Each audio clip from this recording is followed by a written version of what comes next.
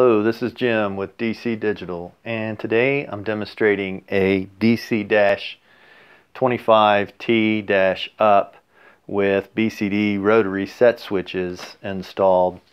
The customer wanted it to be able to set it to a maximum value or a threshold value and then have a three second alarm uh, after it reached that value. Uh, also when it reached that value it would stop.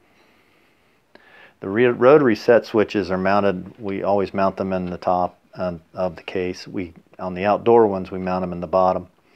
But they are 0 through 9 and each one represents a number on the front of the display and uh, I'm just going to go ahead and set it for 10 seconds. They all they have a detent, and then also if you look inside, you see the 0 through 9 uh, labeling.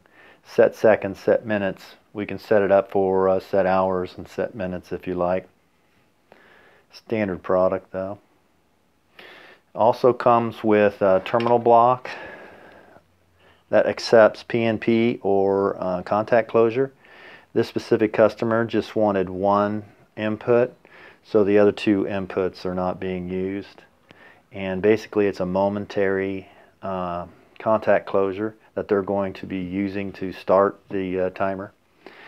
To run their cabling, you would there's three knockouts. They're half inch conduit, three quarter inch hole. You can run your cabling up through it. And then also to mount it, there's knockouts for a 2x4 or a 4x4 electrical box. Here you see the uh, buzzer and then power is 120 volts AC wall adapter with a six foot cord. I'm going to go ahead and demonstrate the operation of it. Just simply a momentary closure or a momentary PNP input to the terminal block. And then when it reaches its set, its set threshold, um, as you can tell, there's a three second beep. The, uh, these are 2.3 inch high. We can go up to 30 inch if you like. 14 gauge all aluminum enclosure.